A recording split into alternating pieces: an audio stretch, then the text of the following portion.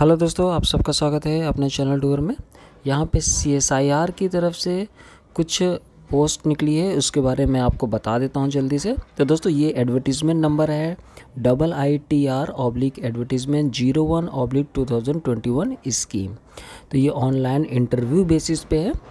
और विभिन्न परियोजनाओं के तहत प्रोजेक्ट स्टाफ के आबंद हेतु ऑनलाइन इंटरव्यू का आयोजन दिनांक 19 मार्च व 24 मार्च को आयोजित किया जा रहा है। तो दोस्तों, यहाँ पे काफ़ी पोस्ट कोड है, मीन्स नंबर ऑफ़ पोस्ट हैं तो यहाँ पे 19 मार्च और 24 मार्च दो दिन यहाँ पे इंटरव्यू होने हैं। तो यहाँ पे मैं उन्हीं पोस्टों को बताऊँगा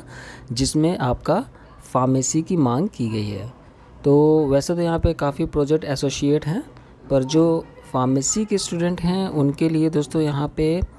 सेवेंथ नंबर पे है project associate one P A G A P one sixty eight.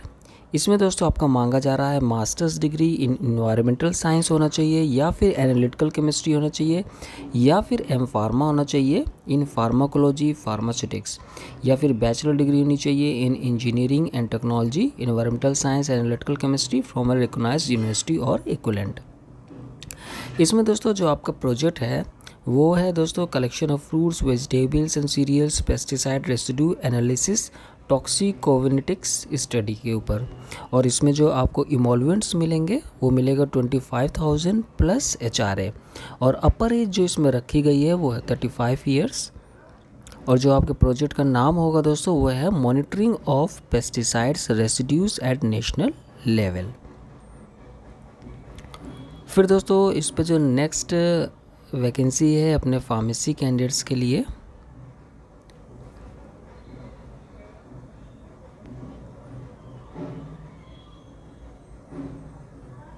क्योंकि दोस्तों, इसको मैंने भी अभी देखा नहीं है। मैं भी आपकी तरह यहाँ पे इसको लाइव देख रहा हूँ, इसलिए यहाँ पे सर्च करने में थोड़ा मुश्किल हो रही है। तो यहाँ पे दोस्तों, सात के बाद है आपका fifteen number project associate two इसमें दोस्तों आपका मास्टर्स डिग्री इन केमिकल और फार्मास्यूटिकल साइंस और bachelors degree in engineering and technology chemical और pharmaceutical science from a recognise university और इक्वलेंट और उसके साथ साथ यहाँ पे टू इयर्स का एक्सपीरियंस भी होना चाहिए in research and development in science तो जिनके पास यहाँ पे टू इयर्स का एक्सपीरियंस भी है और उन्होंने वहाँ पे फार्मास्यूटिकल साइंस वहाँ पे किया है तो वो लोग इस फॉर्म को भर सकते हैं। इसमें दोस्तों मेनली है आपका analysis of pesticide in biological matrices using gas and liquid chromatography hyphenated mass spectrometry और इसमें जो आपको इमोलवेंट्स मिल रहे हैं वो है twenty eight thousand plus H R है अपर एज लिमिट दोस्तों यहाँ पे फाइव ईयर्स है और जो टाइटल है आपके प्रोजेक्ट का वो है study to access the exposure and health effects of pesticide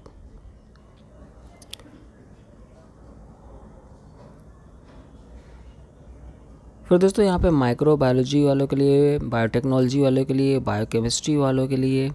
काफ़ी वैकेंसी हैं। तो अगर आपके दोस्त वगैरह ने ये सारी डिग्रियाँ की हैं तो आप उनको ये चीज़ दिखा सकते हो। क्या पता उनके भी ये चीज़ काम आ जाए।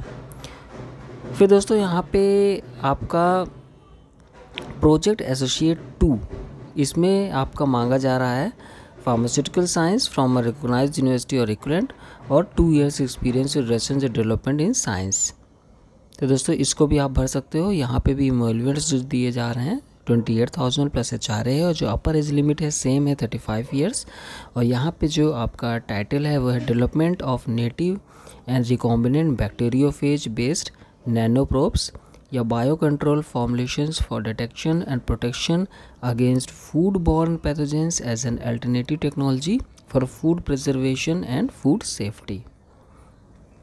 फिर दोस्तों, यहाँ पे एक और है आपके लिए प्रोजेक्ट एसोसिएट वन और इस पे आपका masters degree in analytical chemistry है, या फिर आपने एम फार्मा किया है फार्माकोलॉजी फार्मास्यूटिक्स फार्मा केमिस्ट्री में, या फिर आपने बैचलर्स डिग्री ली है in engineering and technology analytical chemistry from a recognise university और इक्वलेंट तो आप इस फॉर्म को भर सकते हैं। यहाँ पे आपको twenty five thousand plus H दिया जाएगा, जो अपर एज लिमिट रखी गई है, वो थर्टी फाइव ईयर्स रखी गई है। और जो टाइटल है आपका प्रोजेक्ट का, वो है real time portable electrochemical sensor array for simultaneous detection of antibodies and pesticides age limit is relaxable up to 5 years in the case of applicants belonging to SC, ST, PH and women applicants whereas 3 years in case of OBC तो दोस्तों जो लोग S C S T P H category से belong करते हैं या फिर women applicants जो हैं उनके लिए अपर एज में फाइव ईयर्स का रिलैक्सेशन है। कहने मतलब अगर आपका यहाँ पे एडवर्टीज़मेंट में thirty five years upper age है तो जिनके पास ये कैटेगरी है या जो वुमेन कैंडिडेट से अप्लाई कर रही हैं, उनके लिए अपर एज हो जा रही है फोर्टी ईयर्स और जो ओ बी सी कैंडिडेट्स हैं, उनके लिए थ्री ईयर्स का रिलैक्सेशन है. मोड ऑफ़ सेलेक्शन तो selection is to be done on the basis of online interview through M S team तो यहाँ पे दोस्तों जो मोड ऑफ़ सिलेक्शन है, यहाँ पे रिटर्न एग्जामिनेशन नहीं है, बल्कि आपका ऑनलाइन इंटरव्यू है, और वो ऑनलाइन इंटरव्यू नाइनटीन को होगा, या फिर आपका ऊपर भी दिया हुआ था दोस्तों, नाइनटीन या ट्वेंटी फाइव को आपका, ट्वेंटी फोर को होना है। तो दो दो डेट दी गई है ये आपको इंशीमेट कर दिया जाएगा आपके ईमेल के थ्रू तो वहाँ पे आपको बता दिया जाएगा कि किस दिन आपका इंटरव्यू होना है। तो केवल इंटरव्यू होगा और उसके बेसिस पे ही आपका वहाँ पे सिलेक्शन हो जाएगा। जनरल टर्म्स एंड कंडीशंस यहाँ पे दी हुई है। फ़िलहाल के लिए आप यहाँ पे जो वेबसाइट है, उसको नोट डाउन कर लीजिए। ये है W W W dot double I T R India dot O R G और एप्लीकेशन आपका फिफ्थ मार्च से शुरू हो चुका है 11 ए एम ऑनवर्ड से और जो इसकी लास्ट डेट है दोस्तों, वो eleventh March 2021 up to 5 PM है। तो ध्यान रखिए दोस्तों, ये कल तक ही ये फॉर्म भरे जाएँगे तो इसको आप जल्दी से भर दीजिएगा। अगर आप एलिजिबल हैं, आप ये प्रोजेक्ट करना चाह रहे हैं तो इसको भर दीजिएगा ताकि अब आपके पास बिल्कुल भी टाइम नहीं है। आज दस तारीख हो गई, कल इलेवेंथ है और अप टू फाइव पी तक ही ये आपका ऑनलाइन एप्लीकेशन भरना है। फिर दोस्तों scanned copy of following document shall be attached in the online application scan copy of original documents तो आपको यहाँ पे स्कैंड कॉपी जो ओरिजिनल डॉक्यूमेंट्स की है, वो अपलोड करनी है जब आप फॉर्म भरेंगे। इसमें आपका एजुकेशनल क्वालिफिकेशन जितने भी हैं, उनको स्कैन करना है। एज के लिए आप टेंथ सर्टिफिकेट लगा सकते हो। कैटेगरी सर्टिफिकेट भी आपको लगाना है। अगर आप वहाँ पे S C S T O B C या पी डब्ल्यू डी कैंडिडेट्स हैं, फिर दोस्तों आपको एक्सपीरियंस सर्टिफिकेट भी लगाना है। अगर मांगा गया है वहाँ पे तो। List of publication patents if any अगर आपके, आपने जो भी रिसर्च पेपर वहाँ पे पब्लिश किए हैं, उनका भी स्कैंड कॉपी अपलोड करना पड़ेगा। साथ ही साथ अगर कोई पेटेंट है आपके नाम पे तो उसका भी प्रमाण वहाँ पे आपको अपलोड करना पड़ेगा थ्रू स्कैन फिर दोस्तों आपका डिटेल बायोडाटा मीन्स रिज्यूमे भी वहाँ पे अपलोड करना है। तो ध्यान रखिएगा ये सारी चीज़ें आपको स्कैन करके वहाँ पे अपलोड करनी है उनकी वेबसाइट पे। The candidate shortlisted by the screening committee will be invited for online interview through M S team on 19 March and 24 March from nine A M onwards जो लोग वहाँ पे सेलेक्ट होंगे शॉर्ट लिस्ट किए जाएँगे आफ्टर स्क्रीनिंग कमेटी जो वहाँ पे सेलेक्ट करेंगे स्टूडेंट्स को तो आपका इंटरव्यू होगा 19 मार्च को 24 मार्च को 9 बजे से स्टार्ट हो जाएगा इंटरव्यू इंटरव्यू में continue on depending upon the number of candidate appear तो दोस्तों वहाँ पे जितने कैंडिडेट्स होंगे तो उसके हिसाब से वहाँ पे इंटरव्यू स्टार्ट होगा. Date of interview will be intimated to the candidates through email तो जो आप ईमेल वहाँ पे दोस्तों भरेंगे, बहुत ध्यान से एप्लीकेशन फॉर्म में भरिएगा, क्योंकि आपके ईमेल पे ही आपको इंशीमेट होगा कि डेट ऑफ़ इंटरव्यू क्या है. नाइनटीन मार्च भी रह सकती है और ट्वेंटी फोर मार्च भी रह सकती है. इसलिए ध्यान करके अपना मोबाइल नंबर और जो आपका ईमेल आईडी है, वो एक्टिव ईमेल आईडी और एक्टिव मोबाइल नंबर ही भरिएगा, क्योंकि उसमें आपका जो एडमिट कार्ड वगैरह, जो भी चीज़ें हैं, जो भी इंफॉर्मेशन है, वो वहीं पे होगा। और अगर आप ईमेल आईडी एक्टिव नहीं दोगे दोस्तों तो फिर वहाँ पे कोई ज़िम्मेदारी संस्था की नहीं बनती है। Panel of project staff may be prepare for future requirements too if any or for upcoming projects तो दोस्तों, ये एक ख़ास लाइन है जहाँ पे इंटरव्यू हो रहा है। मानो वहाँ पे दस कैंडिडेट्स चाहिए, लेकिन वहाँ पे ज़्यादा बच्चे भी वहाँ पे आ गए हैं, जो अच्छे हैं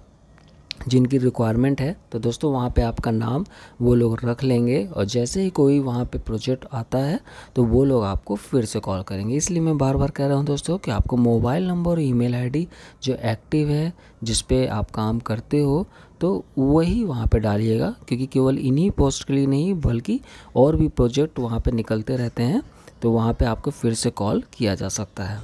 अब इसमें दोस्तों कुछ जनरल टर्म्स एंड कंडीशन है, वो भी देख लेते हैं जल्दी से। Engagement will be initially for a period of one year and may be extended or curtailed depending upon the project requirement and desired level performance or conduct of the incumbent as the case may be. तो दोस्तों ये जो project है आपको engage किया जाएगा for a period of one year और वहाँ पे इसको वो घटा भी सकते हैं पीरियड को और बढ़ा भी सकते हैं depending upon the project requirement तो प्रोजेक्ट जो जिस पे आप काम करोगे उसके रिक्वायरमेंट के आधार पे जब तक वो प्रोजेक्ट चलेगा उस आधार पे ही वो आपको वहाँ पे रखेंगे। तो इनिशियली उन्होंने बोल दिया है कि एक साल के लिए, लेकिन ये पीरियड बढ़ भी सकता है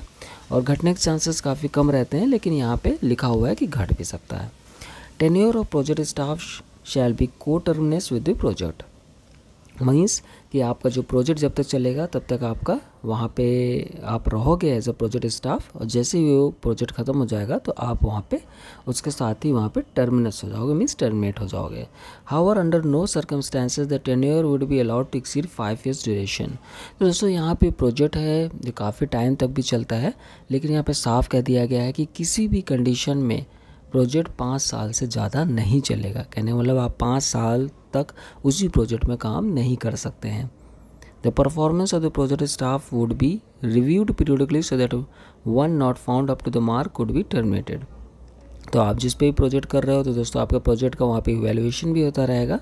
और उसी के आधार पे ये होगा कि आपको एक्सटेंड करना है प्रोजेक्ट कि नहीं करना। अगर वहाँ पे ऐसा लगेगा कि आप प्रोजेक्ट पे काम नहीं कर रहे हो तो वहाँ पे वो प्रोजेक्ट ख़त्म भी किया जा सकता है। All this position are temporary and there will not confer any right on the incumbent to any claim implicit C S I R I I T R या सी एस आई CSIR दोस्तों, ये सारी टेम्प्रेरी पोजीशंस हैं और कभी आप इसमें claim नहीं कर सकते हो। जैसे बहुत से बच्चे कहते हैं कि हम इतने साल तक प्रोजेक्ट पे वर्क कर रहे हैं, हमें इस ऑर्गेनाइजेशन को या एजेंसी को वहाँ पे ऑब्जॉर्व करना पड़ेगा या हमें परमानेंट बनाना पड़ेगा। तो यहाँ पे साफ़ लिखा है कि ऐसा कुछ नहीं है, आप वहाँ पे क्लेम नहीं कर सकते हो। On completion of the ten tenure in one project in case one wants to apply for engagement in other project he she will have to go through the process of selection by submitting a fresh application under the new project तो दोस्तों, अगर मान लो आप वहाँ पे किसी एक project पे काम कर रहे हो और अब आप दूसरे प्रोजेक्ट में भी काम करना चाहते हो तो वहाँ पे आपको फ्रेश एप्लीकेशन डालनी पड़ेगी। Engagement of the project staff under the new project would be made only after the submission of resignation and no demand certificate in the previous project तो आप दूसरे में करना चाहते हो तो आपको पहला वाला वहाँ पे रिज़ाइन करना पड़ेगा। तो वहाँ पे आफ्टर रेजिग्नेशन और नो डिमांड सर्टिफिकेट आप वहाँ पे ज्वाइन कर सकते हो। Wherever possible accommodation will be provided to project staff if accommodation is not possible A will be paid as per rules if accommodation is provided the licence fee would be deducted as per C S I R rules तो दोस्तों, वहाँ पे accommodation आपको avail किया जाएगा। Maximum को avail करा दिया जाता है, लेकिन बाई चांस अगर आपको अवेल नहीं कराया जा रहा तो वहाँ पे आपको हाउस रेंट अलाउंस आपको वहाँ पे पेड होगा सैलरी के साथ। The project staff shall be permitted to avail leave and dispensary facility as per rules तो आप वहाँ पे प्रोजेक्ट स्टाफ जो हैं एज अ प्रोजेक्ट स्टाफ तो आपको वहाँ पे अगर छुट्टी वगैरह चाहिए तो दोस्तों वहाँ पे उनके रूल्स के आधार पे ही आपको चलना होगा। Institute provides canteen facility as is being provided for regular staff members on payment of suitable charges तो वहाँ पे इंस्टीट्यूट जो है वो कैंटीन फैसिलिटीज़ भी प्रोवाइड करती है, लेकिन वहाँ पे आपको उसका चार्जेस पे करना होगा। Experience where required will be counted from acquiring minimum educational qualification तो एक्सपीरियंस जहाँ पे रिक्वायर होगा तो वो लोग काउंट करेंगे अकॉर्डिंग मिनिमम एजुकेशनल क्वालिफिकेशन के। Final semester results awaited candidates will not be allowed to appear for interview तो दोस्तों, जहाँ पे अगर आप फाइनल ईयर में हैं और आपका भी रिज़ल्ट नहीं आया है तो दोस्तों, ये आप एप्लीकेशन नहीं भर सकते। साफ़ तौर पर यहाँ लिखा है कि जिनका रिज़ल्ट अवेटेड है, वो यहाँ पे अप्लाई नहीं कर सकते हैं। तो दोस्तों, यहाँ पे अप्लाई मत करिएगा। अगर आपका रिज़ल्ट आ चुका है तो आप यहाँ पे अप्लाई कर सकते हैं। T A D A will not be paid for reporting to duty तो दोस्तों ड्यूटी में रिपोर्ट करने के लिए आपको ट्रेवलिंग अलाउंस वगैरह नहीं अवेल किया जाएगा, आपको खुद पैसे लगा के जाने होंगे। Age relaxation will be admissible to five years in the case of candidates belonging to S C S T O B C physically handicapped visually handicapped and female applicants तो दोस्तों, मैंने आपको पहले बताया कि फाइव ईयर्स की relaxation यहाँ पे दिया जाएगा। जो डिफरेंट कैटेगरीज से हैं। Date for determining age qualification experience shall be last date of online application तो आपको एज काउंट करने के लिए जो लास्ट डेट ऑफ़ एप्लीकेशन दी जा रही है तो उससे आपको काउंट करना होगा अपनी age engagement and this project will not confer any right implicit और explicit on the candidate for consideration for regularisation against any C S I R या डबल आई पोस्ट तो दोस्तों यहाँ पे जैसे मैंने आपको बताया, आप परमानेंट के लिए यहाँ पे कोई भी दावेदारी नहीं रख सकते हैं। Number of positions may vary depending on the project requirement तो प्रोजेक्ट रिक्वायरमेंट के आधार पे यहाँ पे जो वैकेंसीज दिखाई गई हैं, वो वहाँ पे बढ़ सकती हैं और घट भी सकती हैं। तो दोस्तों, ये है अगर आप इसमें एलिजिबल हो तो मेरा यही कहना है दोस्तों कि इस तरह के जो प्रोजेक्ट होते हैं, वो बहुत ही किफ़ायती होते हैं और आपको यहाँ पे भरने चाहिए। अगर आपके पास एलिजिबिलिटी है तो ज़रूर से भरिएगा इंटरव्यू ज़रूर जाइएगा। इससे आपका कैरियर ग्रोथ जो है, वो काफ़ी अच्छा होगा। Thank you take care bye